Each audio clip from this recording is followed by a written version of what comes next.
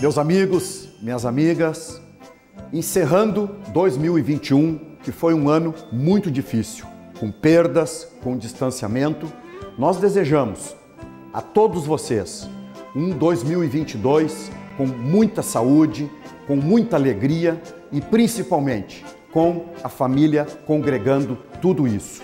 É assim que deve ser o 2022. Um forte abraço em todos vocês, um beijo no coração e que Deus nos proteja sempre.